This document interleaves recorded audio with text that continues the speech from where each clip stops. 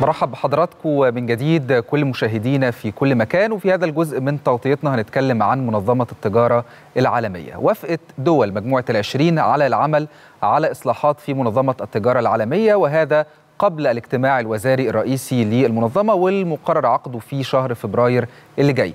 بتشمل الإصلاحات المقترحة إيجاد منظومة لتسوية النزاعات تكون فعالة ومتاحة لجميع الدول الأعضاء بحلول 2024 ولكن السؤال هل تسوية النزاعات هي العقبة الوحيدة أمام تطوير منظمة التجارة العالمية أم لا؟ ده اللي هنتعرف عليه مع ضيفنا في الاستوديو دكتور فرج عبد الله الخبير الاقتصادي. برحب بحضرتك معانا. أهلا وسهلا بيك. يا أهلا وسهلا ومرحبا بحضرتك. أهلا وسهلا. بيك. في البداية عايزين نتكلم عن وضع منظمة التجارة العالمية. طبعا هي من أكبر المنظمات الاقتصادية في العالم فيها حوالي 164 دولة يعني نعم. 98% من حجم التجارة العالمية.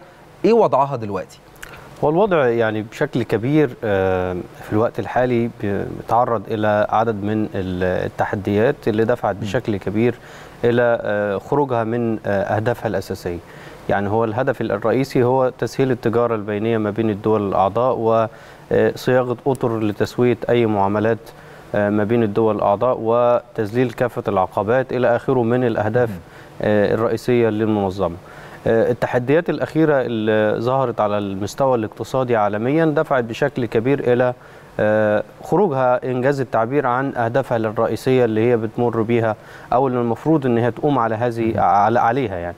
عشان كده كان من مهم جدا التحرك من قبل العشرين أو الجي 20 اللي هي الدول العشرين الكبرى إن هم 19 دولة بالإضافة للاتحاد الأوروبي إلى إنهم يعيدوا النظر مرة أخرى في الأطر اللي المفروض تقوم بيها أو تلتزم بيها المنظمة عشان تقدر تحقق أهدافها مرة ثانية هم اتكلموا عن يعني إنشاء منظمة لتسوية النزاعات ما بين الدول الأعضاء تبدأ عملها من 2024 إلى أي مدى ده هيكون فعال؟ وإيه حجم النزاعات اللي موجودة؟ هي فعاليته ترتبط بالتزام الدول الكبرى المؤثرة على هذه المنظمات.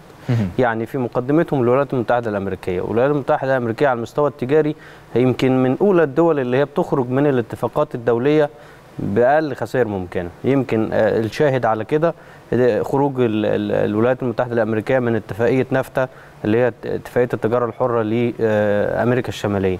خروجها من عدد من الاتفاقات الثنائية ما بين الولايات المتحدة الأمريكية وعدد من الدول.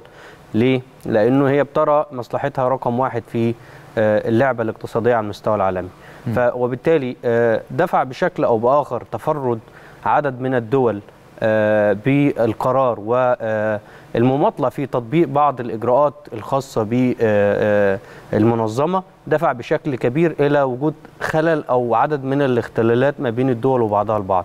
سواء كان في تسوية المنازعات من جهة أو تسوية اختلالات اللي موجودة في موازين التجارة البينية ما بين الدول وبعضها سواء حتى وصل الدرجة أنه تسوية المعاملات التجارية حتى ما بين الدول وبعضها عن طريق إقصاء بعض الدول أو فرض عقوبات على بعض المؤسسات المالية اللي ممكن تعمل تسوية لمعاملات دولة ودولة أخرى. إذا إحنا أمام حالة من الارتباك الشديد اللي موجود على المستوى الاقتصادي عالميا بشكل أساسي التجارة الدولية تأثرت وتعثرت كثيرا بسبب الممارسات الأحادية الجانب إذا جاز التعبير أو منفردة النفع إذا جاز التعبير. عشان كده من المهم جدا إعادة صياغة النظام الاقتصادي العالمي ياخد في اعتباره تعددية الأطراف وتعددية الأقطاب بدلا من النظام القائم اللي أسست ليه الولايات المتحدة الأمريكية عقب اتفاقية بريتون وودز إحنا بالتأكيد هنيجي عند النقطة دي تحديدا وهنتكلم عن شكل الاقتصاد العالمي الجديد وإزاي هيؤثر كمان على منظمة التجارة العالمية. ولكن حضرتك ذكرت مجموعة من الاختلالات نعم. اللي موجودة داخل المنظمة الآن. إيه الإصلاحات الواردة اللي ممكن يتم العمل عليها داخل المنظمة؟ إحنا اتكلمنا عن جزء تسوية النزاعات ضروري يكون في أو ده ممكن يطرح في اجتماعات الجي 20 المقبلة في الهند إنه من المهم إيجاد أطر إلزامية أو تلزم الدول الأعضاء بتطبيق كافة المعايير وكافة الاشتراطات والمتطلبات لإنجاح عملية التجارة الحرة ما بين الدول وبعضها. أخذين في الاعتبار عدم صياغة أطر فردية من جانب الدول عشان مصالحها. يعني على سبيل المثال عشان نبسطها خالص لو أنا عندي آه، آه، المعايير اللي بتنص عليها منظمة التجارة الدولية إتاحة التجارة البينية ما بين الصين والولايات المتحدة الأمريكية. بنلاقي إنه آه، في بعض الإجراءات ال- الغير فنية بيتم فرضها من قبل الولايات المتحدة الأمريكية على الواردات الصينية نتيجة لزيادة ال- الخلاف ما بين آه، آه، أمريكا وما بين الصين. فده بيأثر بشكل كبير على وبترد بالمثل بيأثر بشكل كبير على التبادل التجاري ما بين الدول بي- بيأثر بشكل كبير على سلاسل الإمداد اللي مرتبطة بالشركات الأمريكية العاملة في السوق ال- ال- الصينية وكذلك الأمر الشركات الصينية العاملة في السوق الأمريكية. وبالتالي بيعمل نوع من الت- ال- التصدع في هيكل الاقتصاد العالمي. ده بيشكل آه، تحدي كبير على الاقتصادات اللي مرتبطة بسلاسل الإمداد للسلع دي. عشان كده مهم إعادة صياغة آه، منظومة التجارة العالمية ومنظمة التجارة العالمية بما يحقق التوازن للدول كافة ويحفظ حقوق الدول ال- الأقل نموا أو الآخذة في النمو اللي هي الصاعدة اللي بتتأثر بشكل كبير بالصدمات اللي ممكن تحصل في الأسواق المتقدمة زي. زي أمريكا وزي الصين عشان كده مهم جدا إعادة طرح آه، وإعادة صياغة وهيكلة المؤسسات الدولية كلها مش بس منظمة التجارة العالمية آه، بحيث أنه يكون في آه، مجتمع. هل نقدر نقول إنه كل هذه الأزمات ال- التي حدثت في الاقتصاد العالمي خلال السنوات القليلة الماضية خلت آه، نظام آه، منظمة التجارة العالمية وزي ما حضرتك بتقول عدد كبير من المؤسسات الاقتصادية الكبرى هو متهالك ولا يتماشى مع الوضع الحالي؟ أنا في تقديري إن هو وصل لمرحلة الشيخوخة. يعني هو وصل لمرحلة آه، انسداد في الأفق تميل بشكل كبير إلى مصالح عدد من الدول يمكن ال G7 مثلا آه، سبع دول كبار هم اللي ممكن يكونوا بيستفادوا بشكل كبير وبشكل قاطع من آه، الوضع القائم على المستوى الدولي. آه، نيجي للصف الثاني أو مجموعة الدول بخلاف ال G7 أو ال- السبعة الكبار على مستوى العالم هم دول اللي بيوقع عليهم جانب من الضرر. بعد كده الدول النامية والأخذة في الصعود والأسواق هم دول بقى اللي بيتعرضوا لاكثر من 70% من من الأزمات. ليه لمجرد آه، قرار معين يتبع سياسة معينة سياسة نقدية أو مالية أو تجارية فأي من الدول الكبار بيتأثر بشدة بنسب تتخطى ال 70% من الأصل. الأثر كله بي- بيقع على الاقتصادات الصاعدة والاقتصادات الناشئه ليه؟ لأن هو مرتبط بشكل بشكل ما وفقا لضوابط معينة خاصة بالتجارة أو خاصة أو خاصة بالاستثمار وتحركات رؤوس الأموال. وبناء عليه هو بنى النموذج الاقتصادي بتاعه. عشان كده آه، ال- ال- الوضع على المستوى العالمي ينذر إن لم يكن هناك إصلاح جاد وفاعل في المؤسسات الدولية اللي من ضمنها أعضائها هي الدول الأفريقية والدول النامية ينذر بأزمة كبيرة ومن الممكن أن تعصف في عدد كبير من الاقتصادات. طب يعني بداية بفكرة تسوية النزاعات هل آه، بتتفائل بهذه الإصلاحات أم إنها لا تغير شيء؟ هي يعني محاولة خلينا نقدر نصيغها نقول إن هي محاولة في طريق الإصلاح. إن لم يتبعها عدد من الإجراءات المالية والنقدية آه، والأدوات الحديثة اللي بتاخد في اعتبارها التحول الرقمي في كافة المعاملات الاقتصادية وعدم إقصاء أحد من آه، ال- ال- تسوية المعاملات التجارية في في ال- في العالم ده هينذر بمزيد من الأزمات على المستوى العالمي. اذا ممكن نوصفه في إن هي خطوة تجاه الإصلاح ولكن يلزمها المزيد والمزيد من الإجراءات اللي لابد من التزام الدول الكبرى بها اولا ثم آه، أخذ في الاعتبار التداعيات اللي ممكن تقع على الاقتصادات الصاعدة نتيجة ل نقول الزعزعة اللي بتحصل بشكل طفيف وبشكل قصير الاجل في آه، آه، الاقتصادات ال- المتقدمة. يمكن طيب. إحنا نعم. يعني النهارده وإحنا شايفين كل هذه المتغيرات العالمية آه، في شكل التجارة اللي محتاجه نظام التجارة العالمي حتى يتواكب مع هذه المتغيرات. محتاجين نظام أكثر عدالة على المستوى النقدي وعلى المستوى التجاري. يعني بمعنى أبسط التجارة الحرة اذا أجاز التعبير وقلنا لابد إن هي تكون آه، منفتحة على على مصراعيها. لكافه الدول؟ هي هنا في صالح الدول المصدرة اولا وفيما لا صالح للدول ال- ال- المستوردة الأسواق نفسها المستهلكين. وبالتالي مهم جدا إعادة صياغة آه، آه، التجارة الدولية بما يحفظ حقوق الدول المصدرة للخام مقابل الدول المصدرة للمنتج النهائي. يعني على سبيل المثال إحنا بنتكلم على القارة الأفريقية مليار و200 مليون مستهلك. رقم ضخم جدا من الاستهلاك. حجم التنمية الم- الموجه لها أو التمويل الموجه لهذه القارة متدني جدا للغاية. التمويل اللي أقصده اللي هو موجه من المؤسسات الدولية المعنية بالتنمية. رقم آه، متدني جدا. طب حجم الأثر من زيادة ال- ال- ما هو الإنتاج ده اللي موجود في العالم اللي بيتصدر اللي هي تجارة أساسه إنتاج أساسه مصانع بتنتج وبتستخدم الطاقة الغير نظيفة اللي بتلوث آه، البيئة وبتدفع بشكل كبير إلى ما, ما نحن بصدده بصدده في هذه الأيام. هو تغير مناخي أثره بالغ على الدول النامية بشكل كبير. اذا إحنا أمام منظومة كاملة محتاجة إعادة صياغة تانية. يعني إحنا لو لو لو قلنا إنه بعد الحرب العالمية الثانية تم صياغة الاقتصاد العالمي الحالي بشكل مختلف وبأدوات مختلفة وبمنظمات مختلفة وبمؤسسات مختلفة ولاعبين مختلفين إذا نحن بحاجة وبامس الحاجة إلى إعادة صياغة هذا المجتمع الدولي مرة ثانية بمؤسسات جديدة متغيرات جديدة لاعبين جدد توزيع المنافع مرة تانية إعادة توزيع المخاطر المحتملة مرة تانية. وناخد في اعتبارنا طبعا عمليات ال- التحول الرقمي وإنه اللي بيحصل في نيويورك بتتأثر بيه بكين واللي بيحصل في بكين بتأثر بيه القاهرة بتأثر بيه لندن في شكل ثواني ثواني معدودة الأسواق بتتحرك.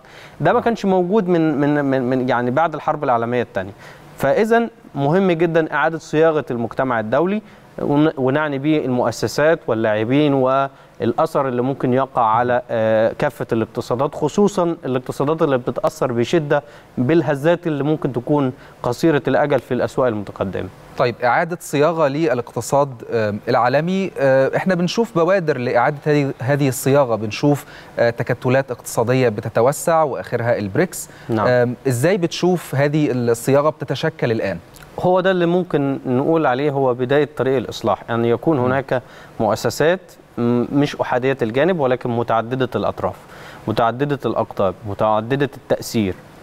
ما يكونش في آه، نموذج القطب الواحد اللي هو آه، الولايات المتحدة الأمريكية ويتبعها آه، الاتحاد الأوروبي ويؤثر بشكل كبير في مجريات العملية الاقتصادية على مستوى العالم. اذا ميلاد آه، مؤسسات وبالمناسبة مجموعة بريكس هي ما زالت مجموعة أو تجمع دولي يجتمع حول اهداف نعم. نعم. معينه. آه، المنتظر إنه آه، تؤسس كمنظمة دولية تضم المزيد من الدول يكون لها ميثاق إلزامي لكافة الدول نعم. إحنا. هنستك خلينا نرجع مرة تانية ونتابع مع الدكتور فرج يعني شكل آه، والصياغة الجديدة لنظام التجارة العالمي والإقتصاد العالمي بشكل عام آه، من المنتظر إنه خلال السنتين على الأقل بداية من آه، يناير 24 وانضمام ست دول جديدة لبريكس ونحن بصدد بريكس plus إنه يكون في ميثاق ملزم لكافة الدول الأعضاء بالالتزام بتحقيق الأهداف البينية أو الأهداف آه، اللي اتفقت عليها هذه الدول. خصوصا إنه آه، إحنا بنتكلم على آه، ما يقرب من 42% من سكان آه، من من سكان العالم هم موجودين في بريكس وبريكس plus. بنتكلم على آه، رقم ضخم من حجم الناتج المحلي الإجمالي مؤثر بشكل كبير آه، بيقع عليها عبء آه، كبير من آه، أعباء ومخاطر آه، آه، المناخ من جهة ومخاطر الغذاء من جهة أخرى. فإذا إحنا أمام آه، أهداف بتجتمع رغم إنه آه، يعني لو بصينا على على الجغرافيا هنلاقي إنه آه، بريكس plus هي متباعدة الأطراف. يعني مش زي الاتحاد الأوروبي على سبيل المثال بتجمعه آه، جغرافيا واحدة أو صحيح. مصالح جغرافية معينة. لا بنلاقي إنه آه، عندنا آه، آه، البرازيل الارجنتين جنوب أفريقيا مصر في الشمال الهند الصين آه، روسيا. فاذا هناك تباعد من حيث الجغرافيا. ولكن من حيث الأهداف ال- ال- ال- اللي ترتب عليها أو الآثار اللي ترتبت من النظام العالمي القائم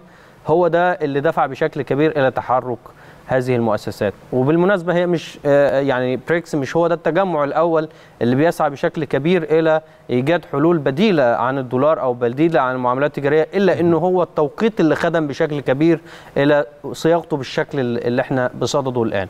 آه، اللي أقصده إنه آه، التجمعات الدولية دي إذا لم يكن آه، في تحرك جاد ومستمر نحو تحقيق أهداف على الأرض هي- هيبقى زيه زي آه، المؤسسات أو آه، زيه زي التجمعات زي آه، نعم. الأسيان زي النمور الآسيوية إلى آخره من التجمعات الاقتصادية اللي اللي وصلت في النهاية إلى تسيير ثنائي أو ثلاثي ما وصلتش لتعدد الأطراف اللي إحنا بصدده عشان نقدر نصلح النظام الاقتصادي العالمي. كمان إحنا محتاجين على المستوى الدولي إن يكون في مطالبة أكتر للقارة الأفريقية كم من الدول الأفريقية بتتبع نظامها المالي والنقدي لدول مباشرة في أوروبا؟ عدد كبير يصل في مجموعه 34 دولة. ب- بتخضع بشكل مباشر إلى آه، توجيهات البنوك المركزية بعض البنوك المركزية في أوروبا. اذا ما زلنا أمام تبعية عدد كبير من الدول اللي من الممكن إن هي تستفيد من النظام الجديد. فاذا إذا توصلنا أو الدول اجتمعت على أهداف معينة وخدت خطوات جادة نحو تغير واضح وبدأت في خطوات إجرائية نبدأ نقول إن إحنا آه، أو العالم في في سبيله للتغير. ولكن هو خطوة أو هي خطوة مهمة جدا. خطوة مهمة نحو التغير. آه، المؤسسات الاقتصادية العالمية اللي إحنا آه، ال- ال- الأساسية صندوق النقد الدولي والبنك الدولي ومنظمة التجارة الدولية حتى والأمم المتحدة عجزت عن حل بعض المشاكل اللي العالم كله بي بيعيش في مرارتها حتى الآن. فإذا إحنا في, في أمس الحاجة إلى آه، تغير كدول آه، صاعدة واقتصادات ناشئة في ال- الوقت قد يكون مناسب جدا ممكن ما يتعوضش بعد كده نظرا للتغيرات الجيوسياسية. عشان كده فكرة التوقيت آه، توقيت بتشوف مناسب جدا يعني, يعني في آه، وتيرة سريعة لضم أعضاء جدد كمان البريكس. بكل تأكيد. وكمان لو جينا آه، ركزنا على الست دول الجداد اللي دخلوا البريكس أو اللي هيدخلوا من يناير اللي جاي هنلاقي إن هم مؤثرين بشكل كبير إما في الجيوسياسي السياسية أو الجغرافيا السياسية اللي موجودة أو مؤثرين في حجم التبادل التجاري سواء نوعي أو كمي أو مؤثرين في محيطهم سواء عسكري أو لوجستي فلو بصينا لكل دولة من الدول ال- ال- الستة الجداد اللي هينضموا من واحد آه، من من يناير 24 هنلاقي إنه هو بعناية جدا اخت... نعم. تم الوق... يعني اختارتهم آه، الدول المؤسسة لبريكس يعني نعم. إحنا عندنا في قائمة الانتظار يزيد عن 23 دولة تقدمت بطلبات ولم يبت فيها حتى الآن. فمنتظر إنه يكون في تحرك آه، مش على قد إن هو واسع النقاط آه، النطاق ولكن يكون آه، بياخد في اعتباره الدول وناريندرا مودي رئيس الوزراء الهندي خلال القمة قال إنه هيتم في توافقات توافقات ل يعني ضم هذه الدول الجديدة رغم أنه لم يتم الاتفاق بعد عليها ولكن هيكون في تسريع لوتيره ده هو ال- ال- ال- الفكرة من وجود تجمع بمثل هذا الشكل إنه يكون مؤثر. يعني على سبيل المثال حضرتك تقدمت في بداية الفقرة إنه منظمة التجارة العالمية تضم 164 دولة. طب ماذا بعد؟ هل فاعلين؟ هل مؤثرين؟ هنلاقي إنه التأثير واضح وباين من اتجاه الدول ال- ال- السبعة الكبار أو الثمانية الكبار هم اللي مسيطرين على القرار. وبالتالي التأثير هو الفيصل في إيجاد بدائل أو إيجاد آه، يعني مؤسسات ومنظمات دولية يكون لها القدرة على التغيير والمطالبة بمزيد من آه، آه، النظام آه، يعني عادل أكثر مما هو عليه الآن. عشان كده إحنا بنتكلم على السعودية. السعودية معروف إن هي مؤثرة في حجم تجارة النفط في العالم مؤثرة في حجم تغير الطاقة من منذ السبعينات وربط الدولار بالبترول فإذا كان مهم جدا تواجدها الدولة المصرية بقوتها اللي موجودة وتأثيرها الموجود في إقليمها العربي والأفريقي. مهم جدا أن هي تكون موجودة في آه، تجمع بريكس plus الأرجنتين والقارة آه، وأمريكا اللاتينية مؤثرة في محيطها. ال- الإيران إذا إحنا أمام تغير واضح في معالم ال- الخريطة الاقتصادية على المستوى العالمي حتى وإن لم يحدث كمان سنتين تغير آه، على الأرض وإلا و- بل هو تغير فعلي. يعني إحنا بنتكلم على تغير فعلي رغم لو إنه لو ما فيش خطوات تانية. نتكلم على البريكس من 2006 2009 محدش كان يعرف عنها حاجة.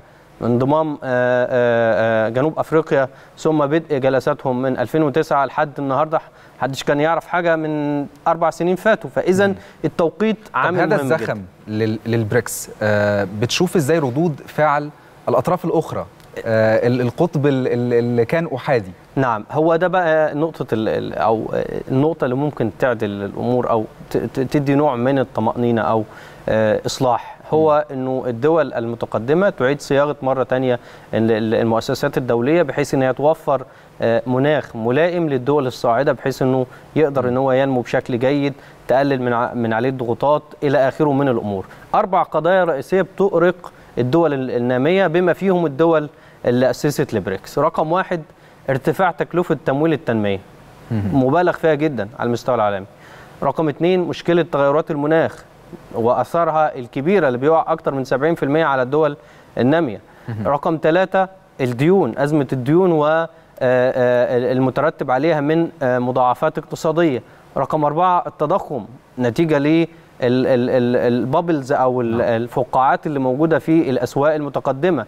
أي مشكلة مالية أو نقدية بتحصل في الولايات المتحدة الأمريكية يترتب عليها ارتفاع أسعار الفايدة بتعصف بعدد كبير جدا من الاقتصادات الصاعدة. فاذا إن يعني من الممكن إعادة صياغة المؤسسات الدولية وده يمكن يحصل تخوفا من إيجاد أو أو أو أو سحب ال يعني المقاليد التغير الدولي أو الحكم على مستوى العالم أو القرار الاقتصادي على مستوى العالم لطرف ثاني انه يكون في عندنا قطبية ثانية خصوصا إنه البريكس بيتمتع بميزة مهمة جدا تؤرق تماما الولايات المتحدة الأمريكية والاتحاد الأوروبي إن هي عملتها من ضمن العملات اللي موجودة في وحدات السحب الخاصة في البنك الدولي. فمن الممكن جدا إنه يصعد اليوان مقابل تراجع الاسترليني وتراجع الدولار وتراجع اليورو.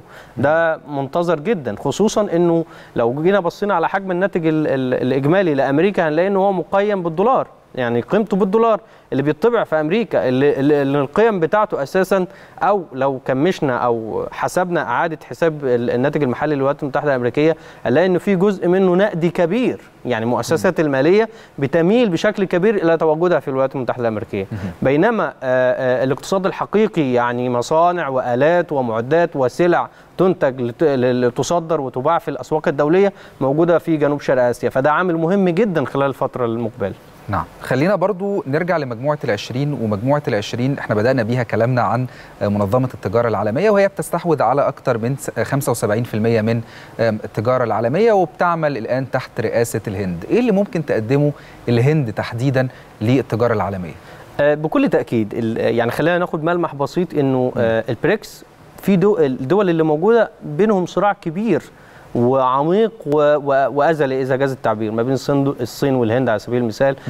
آه دافين ما بين ما بين الصين وروسيا. آه ما بين إيران والهند والصين.